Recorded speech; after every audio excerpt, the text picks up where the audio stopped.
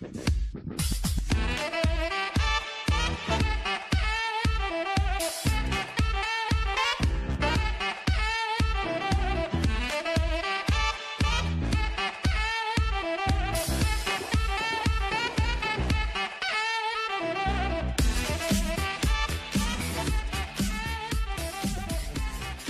up, you cool cats? Check it out, lion.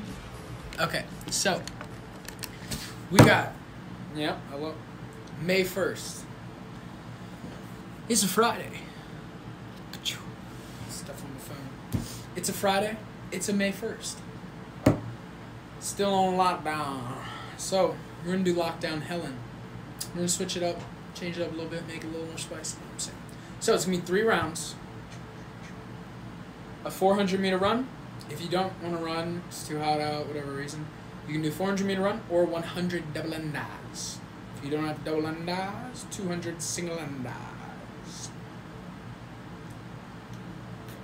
Fitness. So, three rounds 400 meter run, 21 kettlebell swings, 12 air squats, 20 sit ups. If you want to do V ups, be my guest. Let's get fit.